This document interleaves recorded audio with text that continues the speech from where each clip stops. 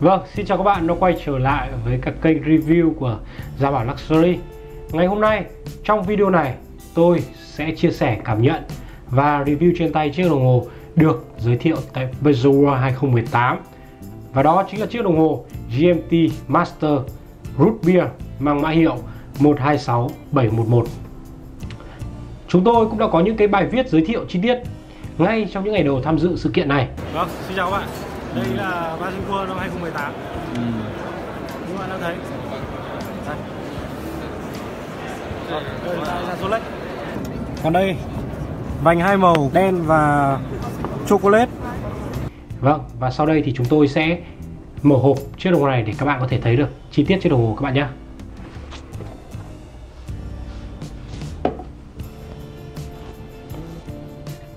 Vâng, và đây. Đây chính là chiếc đồng hồ GMT Beer của chúng ta ngày hôm nay.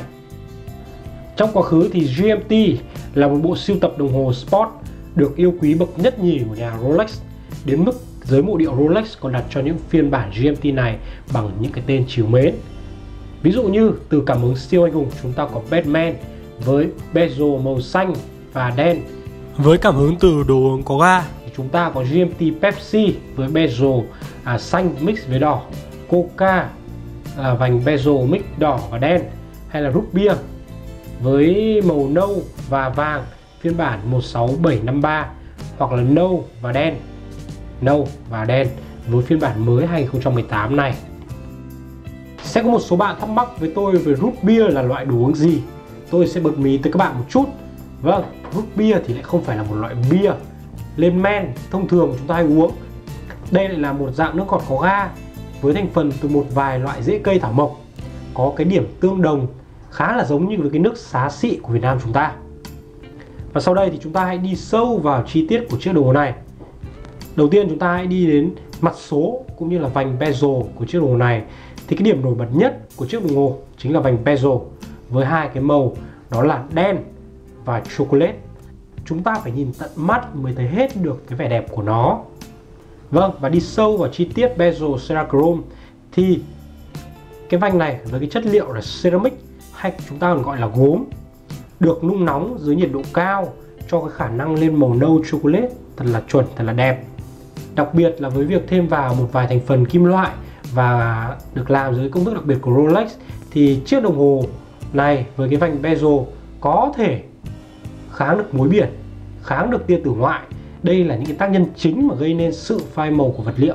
Với những phiên bản đời cũ của Rolex, khi cái vành bezel này là được làm bằng nhôm, xong rồi sơn lên ấy, thì nó sẽ, khi mà đeo ra ngoài trời nắng này, hay là đi bơi, thì dần dần cái lớp sơn này nó sẽ bị mờ đi, cũng như là cái vẻ đẹp nó không được trường tồn theo năm tháng. Nó bên dưới cái lớp kính sapphire này là mặt số hiện lên với cái màu đen tuyền, tương phản với những cái cọc số được phủ chất dạ quang chromalite với những chi tiết đơn giản như cọc số chỉ giờ dáng ờ, hình học kích thước lớn tròn này chữ nhật này tam giác này bộ kim truyền thống. Đây như các bạn thấy. Đó. Bộ kim Mercedes. Hoài niệm.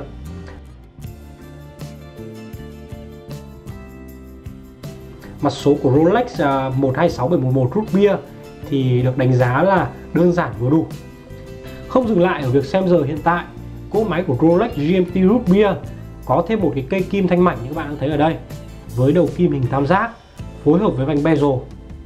Đó. Giúp người đeo có thể xác định thời gian ở một địa điểm khác. Bởi vậy mới có tên là GMT Master. Tiếp đến là chúng ta sẽ tìm hiểu đến cái phần thân vỏ của chiếc đồng hồ này.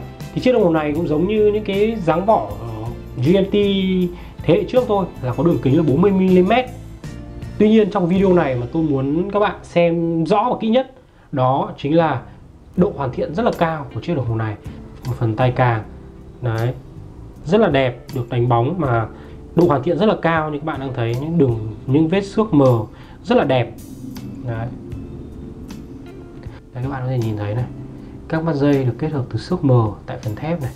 Nó rất là đẹp và đánh đánh bóng ở ừ, cái mối nối giữa. Nó tạo một cái sự tương phản rất là rõ rệt. Để cảm nhận cá nhân tôi ấy, về cái màu sắc của GMT Root Beer này thì tôi có cảm tình với vàng Everose hơn hơn là cái màu vàng thông thường của Rolex. Cái vàng chúng ta gọi là vàng vòng vàng ấy. Thì sự kết hợp này trên dáng vỏ Oyster thể thao thì được nhắc đến lần đầu tiên trong phiên bản Jazzmaster vàng Everose mix thép mà Gia Bảo đã review hai năm trước đây, các bạn có thể nhìn thấy ở phía góc bên phải màn hình đây. Đây là chiếc đồng hồ đó tôi đã từng review. Về phần thân khóa thì các bạn đang thấy đây. Phần thân khóa này. Đó, phần dây và khóa. Đây, mở khóa ra cho các bạn xem. Mở bên trong. Và khóa đây. Đó. Rất là đẹp, hoàn thiện rất là cao. Các bạn thể biết rồi. Khóa này thì đây chúng ta đang à, uh, khóa Oyster Lock đó chính là đây bộ này gọi là khóa Oyster Lock quen thuộc cùng mối nối mở rộng EasyLink cái mối nối mở rộng EasyLink là cơ chế rất là xuất sắc cho phép người dùng nhanh chóng nới rộng dây đeo khoảng tầm à, 5 mm đây là một cái tính năng tôi nghĩ là khá hữu dụng đặc biệt là những nơi có khí hậu nhiệt đới như Việt Nam. Đó đây các bạn thấy.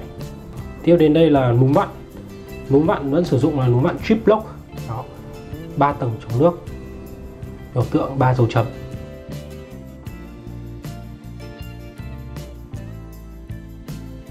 Chính xác và bền bỉ. Đó là những gì thuộc về Rolex và họ đã chứng minh cho chúng ta thấy trong cả trăm năm qua. Khó có ai có thể phủ nhận được điều đó?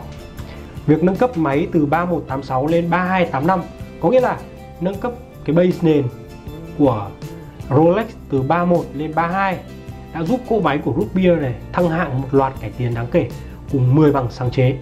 Đặc biệt nhất là phải kể đến đó chính là mức dự trữ năng lượng dài hơn hơn 70 tiếng, gấp gần 1,5 lần so với GMT thế hệ cũ, chỉ dừng lại ở 48 tiếng mà thôi.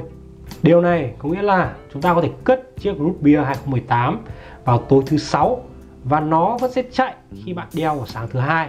Rất là tiện, đúng không ạ? Khi chúng ta muốn đổi một chiếc đồng hồ chúng ta không cần phải cho vào hộp quay thì cái cô máy này nó rất là tiện lợi ở chỗ đó. Ngoài ra thì Root Beer cũng đạt chứng nhận là Super COSC mới của Rolex.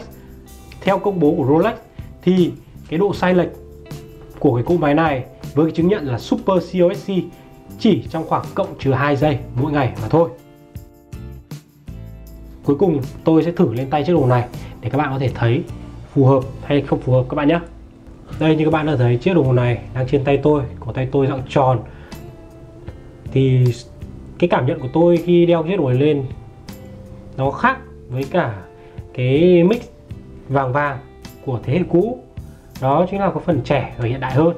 Ngoài ra thì có phải chúng ta phải nói là cái màu sắc cái màu sắc này dưới cái điều kiện ánh sáng thì phần màu nâu này hiện lên hơi hơi giống màu mật ong chứ không phải là là màu chocolate ừ, đậm nữa. Đấy các bạn thấy này. Đấy óng ánh óng ánh vàng.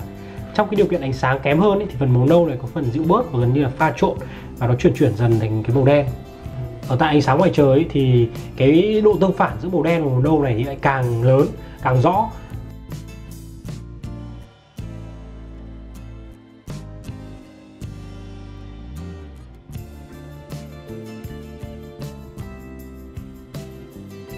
Cảm ơn các bạn đã theo dõi video của chúng tôi. Hy vọng tôi sẽ sớm gặp lại các bạn trong một video gần nhất. Vâng, xin chào các bạn.